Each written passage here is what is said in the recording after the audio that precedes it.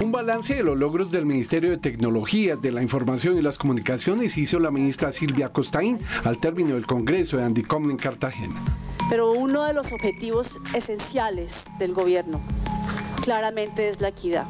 Tenemos que empezar por asegurarnos que nadie se nos quede atrás, que todos tengamos las mismas oportunidades. Pero gracias a esta ley tenemos, uno, una institucionalidad moderna en la cual desde el primer momento en el que el presidente firmó la ley, empezamos a trabajar en la transición. Una televisión pública absolutamente fortalecida, no únicamente para hoy, sino para el futuro.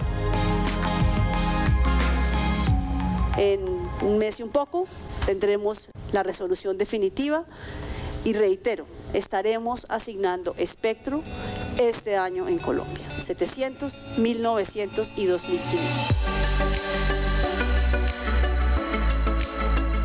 Vamos a conectar a más de 500 mil hogares, pero además concentrado en los más vulnerables. Estamos hablando de estratos 1 y 2 de CISBEN 4.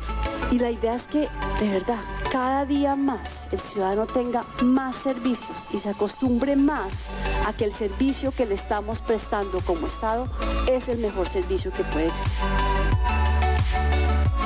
Hoy mi invitación es a que nos ayuden a llegar más rápidamente a donde deberemos estar. Porque reitero, este es un sector, todos, ustedes y nosotros, un solo sector, que al movernos movemos a toda la economía.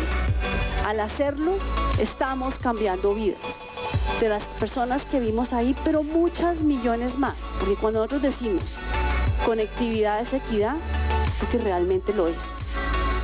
Cuando decimos más TIC mejor país, es porque realmente lo es. Muchas gracias.